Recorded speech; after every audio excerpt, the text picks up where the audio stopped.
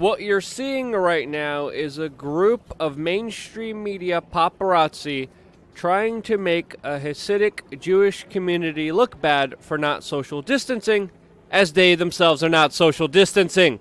One rabbi commented saying, You would think they found the Hunter Biden laptop.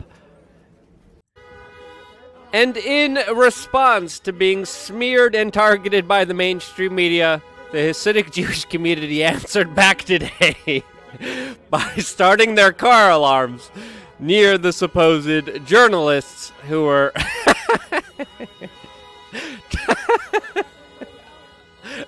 oh, goodness, this is too good.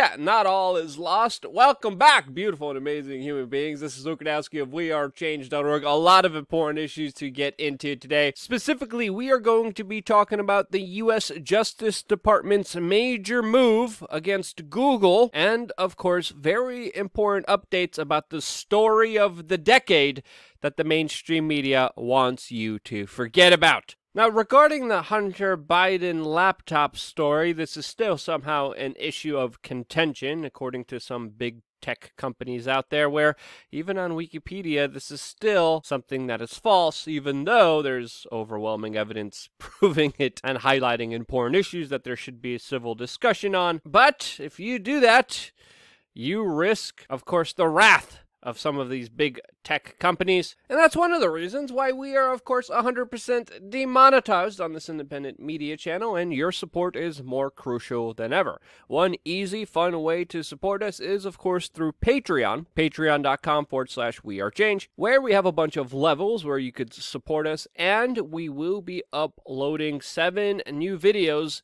very shortly that will be for your eyes only. By the way, these are the seven videos that already the sponsors of our previous GoFundMe got. By the way, if you supported us through the tier 2 level on the GoFundMe, expect an email for us shortly. We will be calling you soon. Tier level 1 level supporters expect three new brand spanking new videos. And it is too late to sign up on this GoFundMe, by the way. Your best bet is to support us through Patreon and these three new exclusive videos will be predominantly available for you later on. 10 videos in total, only for your eyes only to supporters of this independent media organization. Sincerely, Thank you so much for supporting us for as little as $7 a month. This means the world to us and allows us to still be here. Now, when it comes to one of the most important aspects of our modern day society, and that is a free and open internet, there's a major developing story happening right now as we got news that the U.S. government has filed charges against Google.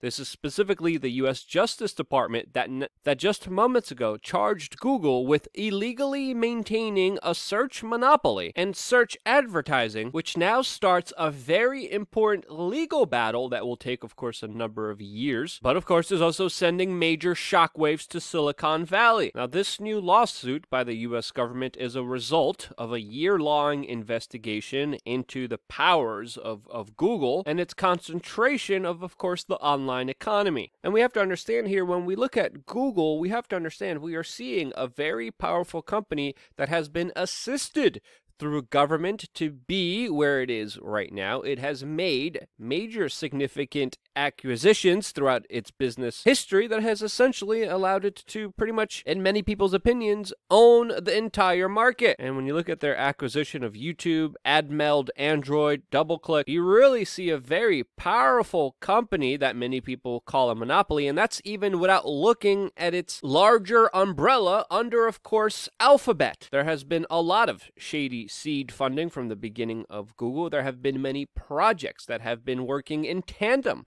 with the government. And of course, when you think of the largest and most powerful tech company out there, Google is the first thing that comes to mind. It's even became its own word in itself. Now, this is going to be a very extremely important court case that will be proceeding since, of course, Google has been demonstrating that it is very political. It does take political sides. And when it has so much power, you really do have to wonder the larger ramifications that are going to be caused by this. Already, I could name a bunch, and they are vast. And now, will the U.S. government break up what they deem a monopoly? Google, just like they did the phone companies a few years ago? Well, it wouldn't be a first. And arguably, Google has taken more aggressive measures, especially politically, that many people have said is akin to if a phone company cut off your service if they didn't like what you were saying on the phone. Now, there are even estimates that Google's control of the online search market ranges up to 80 to 90% control of it, resulting in, of course, tens of billions of dollars that provide it revenue. Now, Google is going to be arguing that people aren't forced to use their products, but of course, everyone knows if you want to do anything, especially online, there, there really isn't a way to, to avoid Google in many instances, especially especially professionally, especially business wise. And it's pretty clear that they dominate the online space. And that's why other individuals like Elizabeth Warren are even going and saying that these recent actions by the United States government isn't even going far enough. And Elizabeth Warren has been an individual that raised this issue previously before. During her campaign run, she seemed mute on this topic. Now she's firing back. Now, this is the beginning of a very important legal battle that, of course, we will be keeping a very close eye on, since, of course, the ramifications are very clear. And even though this is beginning on a micro scale when it comes to search engine results, as we know, there still is a lot more to talk about when it comes to accountability and transparency, with small institutions being empowered as they are right now. And now, jumping topics to an individual who's closely connected to the big tech monopolies, we of course have the latest news surrounding Jeffrey Epstein, who of course wined and dined with the biggest executives in Silicon Valley, even though he was a convicted child abuser. But yet still somehow clinging a part of the elite society, as described by BuzzFeed News, describing how he had many dinners with the most powerful figures in tech, which, quote, showed how connected he was. And of course, this is a very important story that, in my opinion, deserves more attention. Henceforth, why we are talking about it right now, when we just got the latest updates specifically surrounding the Ghislaine Maxwell criminal case, where we have U.S. District Judge Loretta Preska coming out and saying that all parties should prepare for the unsealing of Ghislaine Maxwell's deposition as soon as is practicable. Now, this is, of course, quote, extremely personal deposition that is uh, 418 pages long, specifically dealing with some of the more raunchier details surrounding Ghislaine Maxwell and Jeffrey Epstein. Now, this disposition comes from a previous court case surrounding Ghislaine Maxwell. Ghislaine Maxwell has been making many efforts to make sure that it is sealed, never to come out to the public, but now it looks like her battles have been lost. But it is important to note here that some of the testimony will be retracted. Why do we need more secrecy? Why do we need more privacy about the story of the decade? That connects a lot of powerful individuals in authority to the most horrid acts. Gee, I wonder why. Now, this disposition could come out in a few days. Of course, we're going to be keeping an extremely close eye on it, since, of course, we still know very little about this important story that should have everyone wondering what in the world were all the authorities doing for the last 30 years? Also, we got a very interesting article from the Daily Beast that detailed the last final days of Jeffrey Epstein from some of the witnesses around him. And through this article, we are finding out that there have been a large number of police foundation benefactors that were, quote, termed the one percenters that embarked on a, quote, stealthy lobbying campaign on behalf of Epstein that was meant to, of course, ease his discomfort behind bars. Yes, very powerful people that are described as the quote, upper crust elites were literally calling in their favors to police departments to make sure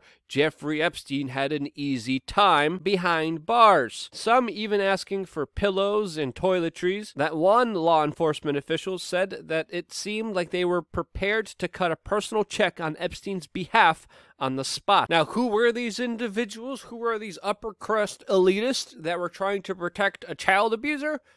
Well, of course, that's something that we still don't know. Now, again, this story is shrouded in more mystery than anyone should even reasonably expect there to be so, but there is, mainly because of Epstein's connections to very powerful individuals that essentially pinpoint him as a member of the establishment. Recently, we also found out that other billionaires like Leon Black also gave Jeffrey Epstein $50 million when it was still well known that Epstein was a child abuser. Now, why did Leon Black give a convicted child abuser that much money and enable him to abuse more children. I'm, I'm sorry, but if there really was some kind of justice here, there would be some serious charges, not just questions that need to be asked for Mr. Leon Black. Again, how this man was connected will leave you spinning just trying to untangle this web of powerful individuals, which of course included Prince Andrew, that have essentially implicated themselves with their comments surrounding this matter. There's also new explosive allegations against Prince Andrew in a new book by Virginia Roberts Giuffre that again are, are too graphic to even mention here during this family friendly YouTube broadcast. But this story being whitewashed, being ignored, the fact that many criminal elements within our society, within the supposed establishment, are still free, roaming the world, doing whatever they please, should make everyone worry. And one of the few places that you still see a legitimate concern about this very important issue, that you still see a legitimate conversation on, is of course alternative media and sporadically, if we're lucky, the mainstream media. Again, we have to remind you that it was the mainstream media that was propping up Mr. Jeffrey Epstein as some great philanthropist. They were literally writing puff pieces, PR scripts that they were regurgitating, highlighting how great of a human being he was.